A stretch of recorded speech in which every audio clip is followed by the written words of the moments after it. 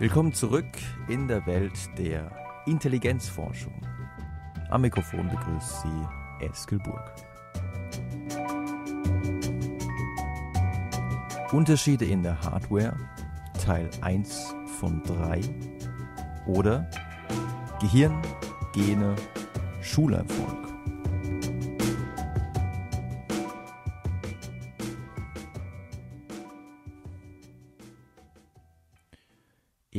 Buch der Bücher könnt ihr im Matthäusevangelium Kapitel 25 Vers 29 die folgenden Worte nachlesen. Denn wer da hat, dem wird gegeben werden, dass er Fülle habe. Wer aber nicht hat, von dem wird genommen, was er hat.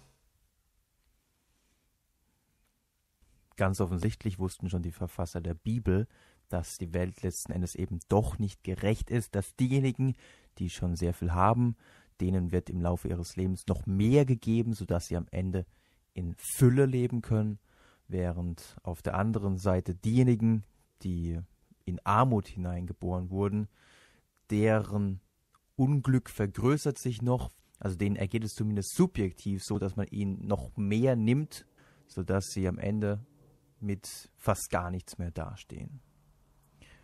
Und dass dieses Phänomen ja, für materiellen Reichtum zutrifft, das ist wohl schon seit Ewigkeiten so.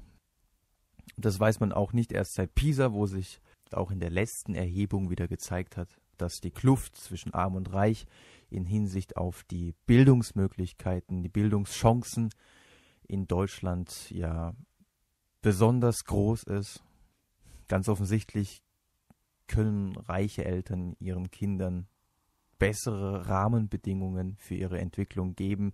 Sie können ihnen teure Bücher kaufen, sie können teure Nachhilfe finanzieren. Und vielleicht haben sie auch ein bisschen mehr Zeit, sich mit den Kindern auseinanderzusetzen, sie beim Lernen zu unterstützen, weil sie ja nicht zwei oder drei Jobs gleichzeitig ausfüllen müssen, um die Familie finanziell über Wasser zu halten. Dass das also für materiellen Reichtum gilt, das leuchtet uns allen ein, das ist uns allen klar. Was uns häufig nicht so bewusst ist, ist, dass dieses, ja, dieser sogenannte Matthäuseffekt, basierend auf dieser Stelle aus dem Matthäusevangelium, dass dieser sogenannte Matthäuseffekt eben auch für geistigen Reichtum, für kognitiven Reichtum zu erwarten ist dass er zum Beispiel zu erwarten ist für das Lesen. Und wenn ihr euch an die Episode zur Psychologie des Lesens zurückerinnert, dann wisst ihr vielleicht noch, dass ich damals diesen Matthäus-Effekt und diese Bibelstelle schon einmal zitiert habe, und zwar in Anlehnung an die Thesen des amerikanischen Leseforschers Keith Stanovich, der gesagt hat, ja, beim Lesen gibt es diesen Matthäus-Effekt eben auch, weil Lesen zum einen ja die Kulturtechnik schlechthin ist, mit der wir uns Wissend aneignen. Und wenn man das gut kann, dann hat man prinzipiell schon einen Vorteil. Aber auf der anderen Seite ist es so, dass mit der steigenden Menge an Wissen, die man sich durch das Lesen aneignet, man erhält dadurch noch einen, noch einen weiteren Vorteil, denn Wissen, beziehungsweise das sogenannte bereichsspezifische Vorwissen, ist ich weiß, ich habe es schon mal gesagt, ich werde es immer wieder sagen, weil es so wichtig ist, das bereichsspezifische Vorwissen ist vielleicht der wichtigste Prädiktor überhaupt für den weiteren Erwerb von Wissen, für Lernerfolg. Denn unser Gehirn bzw. unser Gedächtnis funktioniert eben nicht wie ein Schuhkarton, der irgendwann voll ist, wenn ich ihn vollgestopft habe mit Wissen, sondern ganz im Gegenteil, es funktioniert wie ein paradoxer Schuhkarton, der immer größer wird, immer mehr Fassungsvermögen erhält, desto mehr Wissen ich da reinstecke. Man kann es sich auch so vorstellen, dass wir Wissensnetze zu einzelnen Themenbereichen in unserem Gehirn haben. Und je größer so ein Wissensnetz ist, desto mehr Oberfläche hat es ja. Und je mehr Oberfläche etwas hat, desto mehr Andockpunkte gibt es dann für weitere Wissensbausteine. Und somit ist es natürlich klar, je mehr ich zu einem Bereich schon weiß, desto leichter fällt es mir dann, noch weiteres Wissen daran anzudocken. Und so wie das Lesen von Vorteil ist, wenn es darum geht, sich Wissen anzueignen, sich Vorwissen anzueignen, so ist eben auch die Intelligenz einer der wichtigsten Faktoren, wenn es um die Aufnahme von großen Informationsmengen geht, wenn es darum geht, neue Probleme zu lösen, wenn es darum geht, neue Dinge zu lernen.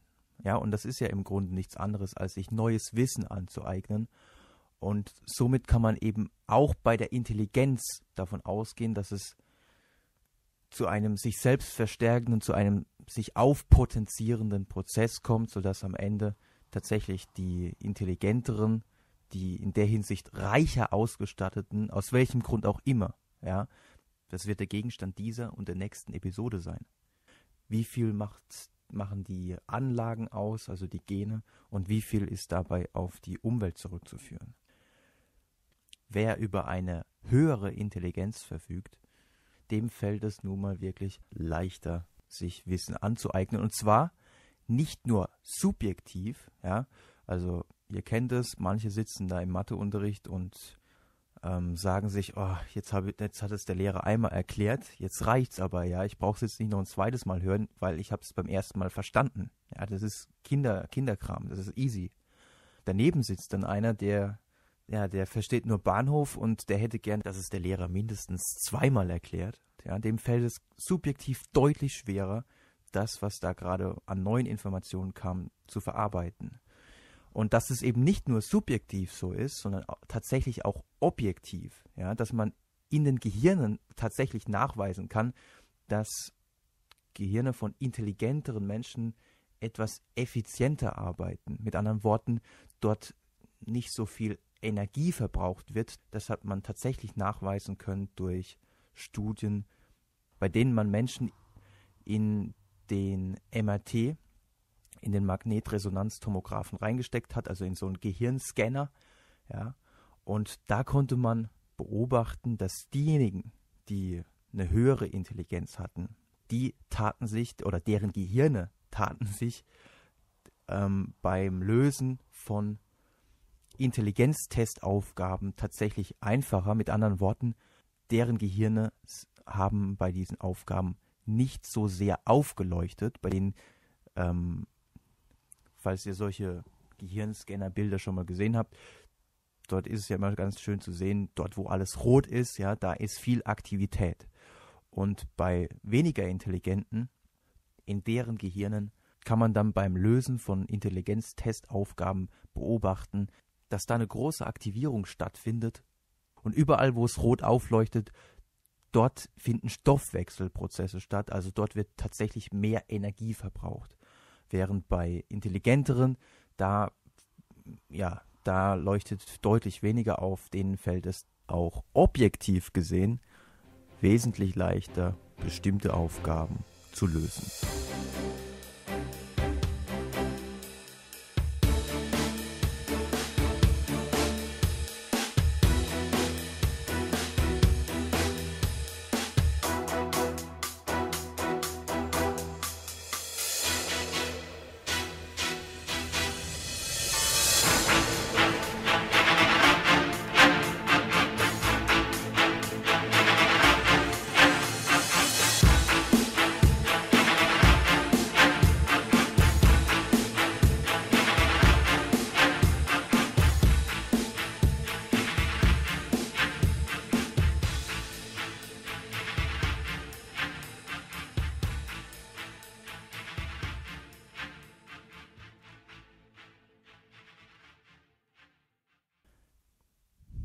Man kann also davon ausgehen, dass diese Neural Efficiency These, ja, die These, die besagt, dass die Gehirne von intelligenteren Menschen etwas effektiver arbeiten, dass die tatsächlich zutrifft. Interessant ist jetzt an der Stelle auch noch der Hinweis, dass man Ähnliches vermutet und es gibt auch schon den ein oder anderen Hinweis, dass man Ähnliches in Hinsicht auf das Vorwissen vermutet. Ja, das heißt, dass wenn ich mich in einem Gebiet sehr, sehr gut auskenne, dass auch dann mein Gehirn, wenn es um solche Aufgaben aus diesem Gebiet geht, dass auch dann ähm, mein Gehirn wirklich nicht so viel Energie verbraucht. Auf der subjektiven Ebene, denke ich, ist es schon relativ klar. Wenn ich mich in einem Gebiet sehr gut auskenne, wie gesagt, dann fällt es mir auch wirklich ein bisschen leichter, da neue Sachen zu lernen. Der Schluss, den man jetzt daraus ziehen kann, ja, wenn man davon ausgeht, dass es wirklich vielleicht so zutrifft, der Schluss, den man daraus ziehen kann, ist, dass ich als weniger intelligenter Mensch, wenn ich also Schwierigkeiten habe mit äh, Intelligenztests, ja, dass ich dann diese Nachteile, die ich dann eventuell wirklich habe, dass ich die durchaus im Alltag kompensieren kann durch ein Mehr an Interesse und an Motivation. Also ich muss mir das dann im Matheunterricht vielleicht wirklich zweimal erklären lassen. Oder ich muss mich daheim dann nochmal da intensiver ransetzen. Aber wenn es mir gelingt, durch dieses Mehr an Motivation mir diese Informationen, dieses Wissen dann auch zu besorgen, ja, und vielleicht sogar ein Stück weit mehr Wissen zu besorgen, sodass ich über mehr Vorwissen ähm, verfüge als jemand, der zwar sehr intelligent ist, aber sich ja nicht besonders anstrengt, dann kann ich wirklich ähnlich leicht mit gewissen Inhalten umgehen, obwohl ja, obwohl ich in einem Intelligenztest vielleicht jetzt nicht so perfekt abschneiden würde.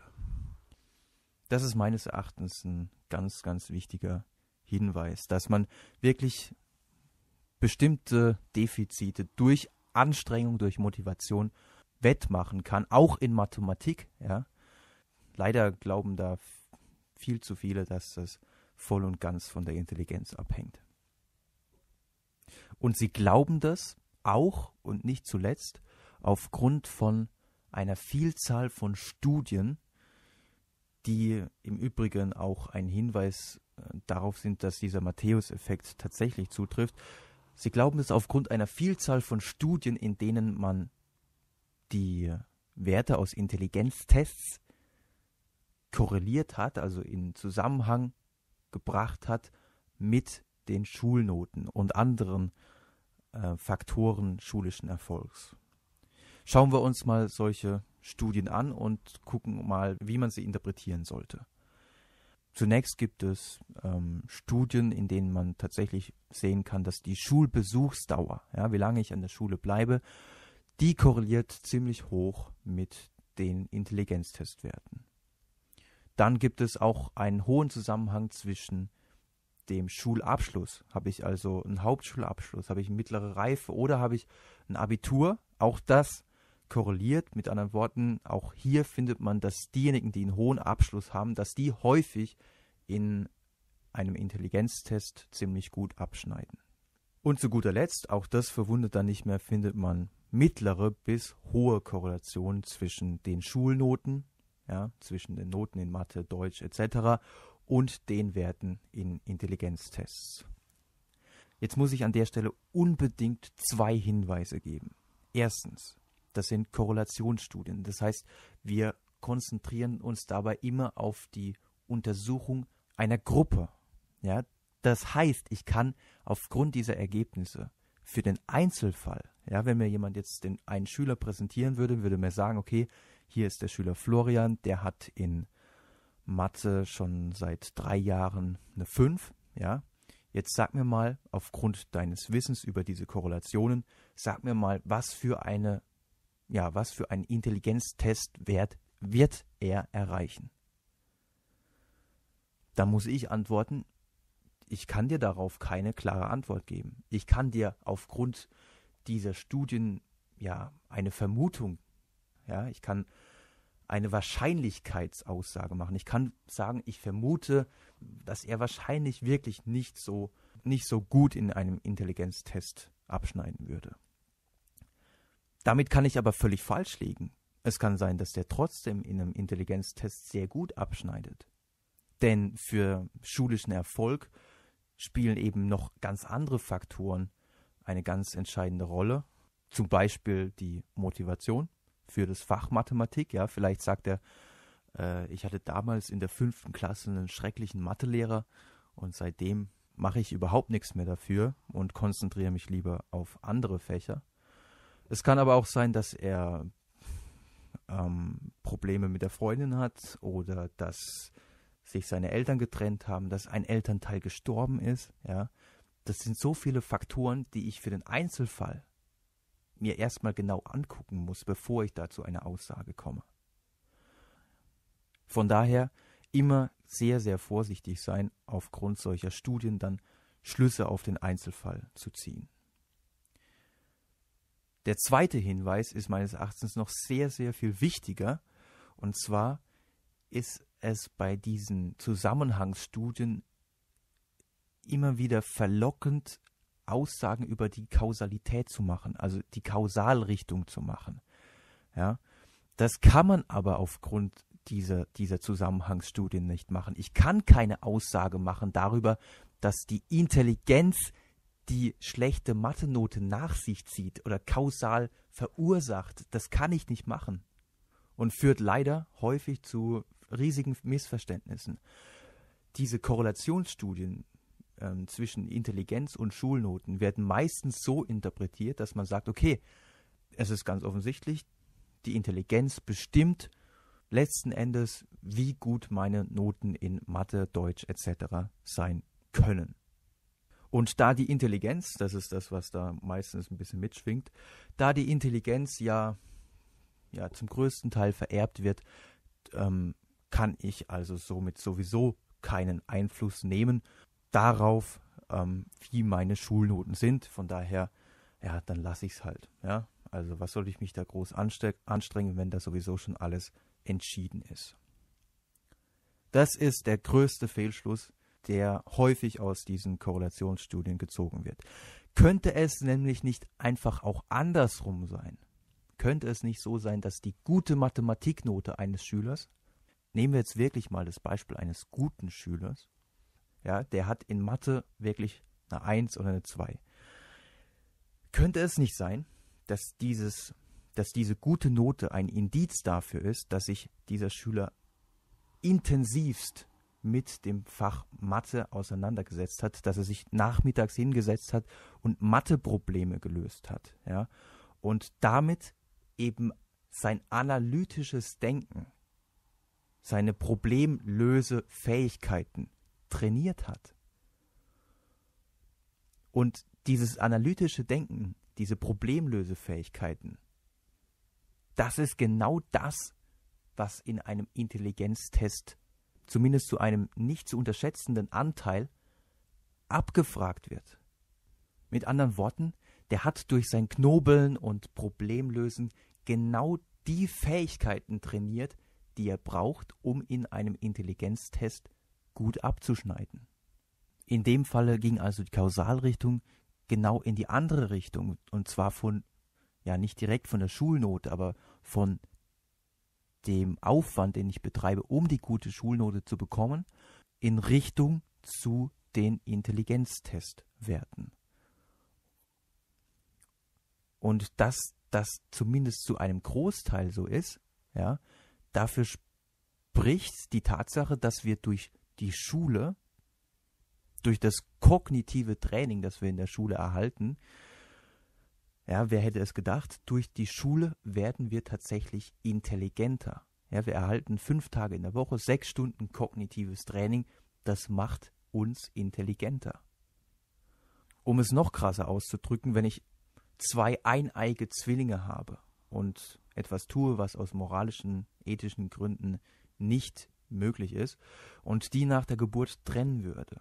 Und den einen, den stecke ich in ein Bergwerk, wo er unter Tage arbeiten muss und ganz wenig Kontakt zu anderen Menschen hat und den ganzen Tag nur körperliche Arbeit verrichten darf. Und somit er ja geistig kaum stimuliert wird. Wenn ich den anderen nehme und den für 13 Jahre in eine gute Schule stecke, wo er wirklich ja genau die Stimulation bekommt, die er braucht, ja, dann werden die beiden eineigen Zwillinge, die also zu 100 Prozent genetisch identisch sind, und ihr habt vielleicht schon mal gehört, dass eineige Zwillinge normalerweise bei solchen, wenn die nach der Geburt getrennt werden, dass die normalerweise dann später, wenn man sie testet, in Intelligenztests erstaunlich ähnliche Werte erzielen. Ja? Das liegt aber meistens neben der aktiven Gen-Umwelt-Beziehung auch daran, dass die, wenn sie getrennt werden, ja nicht unbedingt in völlig unterschiedliche Settings, nicht in völlig unterschiedliche Umgebungen gebracht werden. Ganz im Gegenteil. Häufig ist es so, dass die dann, dass der eine Zwilling in einer mittelständischen Familie landet und dort dann das Gymnasium ähm, besucht, während der andere Zwilling, der landet eben in einer anderen, ja, vielleicht auch mittelständischen Familie, wo also die Rahmenbedingungen, auch was den sozioökonomischen Status angeht, ziemlich gleich sind. Und er besucht eben auch ein Gymnasium und von daher ist es dann nicht mehr verwunderlich, dass die Intelligenzquotienten kaum auseinanderdriften im Laufe der Beschulung. Wenn aber jetzt die Umwelt extrem unterschiedlich ist, wie bei diesem Zwillingsbeispiel, das ich genannt habe, und in manchen Studien gibt es tatsächlich solche statistischen Ausreißer, bei denen die Umwelten tatsächlich enorm unterschiedlich sind, dann ist wirklich mit einem großen Intelligenzunterschied zwischen diesen beiden zu 100% genetisch identischen Menschen zu rechnen. Denn es ist wirklich so, dass je größer die Umweltunterschiede, je größer der Einfluss der Umwelt ist, desto geringer, desto mehr geht der Einfluss der Gene zurück. Jetzt wird der eine oder die andere sagen, Moment mal, ich habe aber gehört, und das habe ich jetzt schon häufig gehört, dass man davon ausgehen kann, dass, dass die Gene und die Umwelt jeweils 50 Prozent ausmachen. Ja, also 50 Prozent der Intelligenz wird durch die Gene erklärt und 50 Prozent durch die Umwelt. Ja, das stimmt. Also es gibt eine Menge Studien, auch Zwillingsstudien, Adoptionsstudien, wo man sagt, ja, circa 50 Prozent, manchmal sogar ein bisschen mehr. Im Laufe des, je älter man wird, desto größer wird tatsächlich auch der Einfluss der Gene. Das, diese Studien gibt es und das ist auch richtig, ja.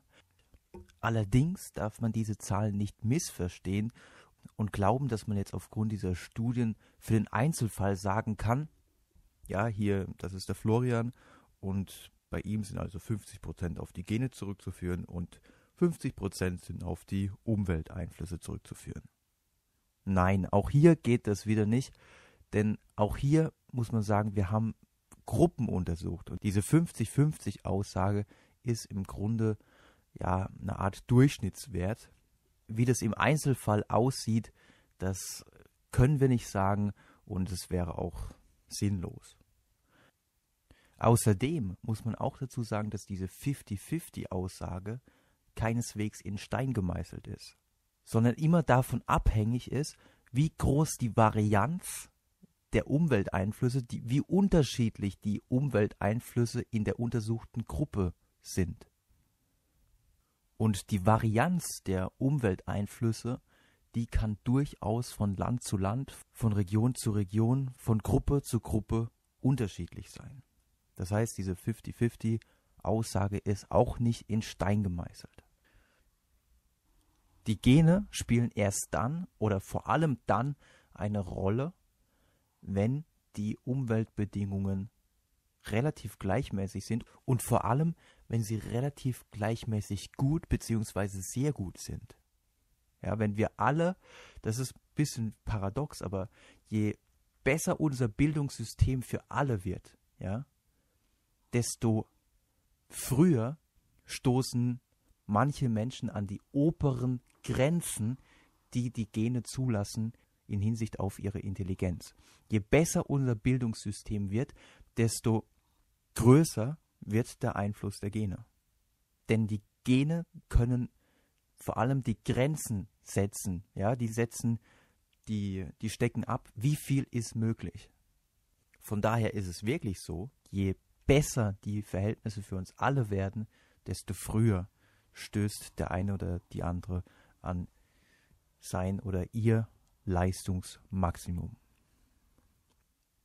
Was man dagegen machen kann, habe ich schon angedeutet. Stichwort Vorwissen und eben nicht sagen, ah, jetzt habe ich schon so viel gelernt, jetzt ist mein Kopf voll, jetzt geht nichts mehr rein. So ist es nicht, ja. Je mehr wir wissen, desto einfacher fällt uns das Lernen. Und dass die Intelligenz eben auch nicht alles ist, das werden wir in der nächsten Episode sehen, wo wir auch sehen werden, dass die Korrelationen, ja, die, der Zusammenhang zwischen Erfolgsfaktoren im Leben, dass die bei weitem nicht mehr so hoch sind wie die, wie die, wie die Zusammenhänge zwischen Schulerfolg und den Werten in Intelligenztests.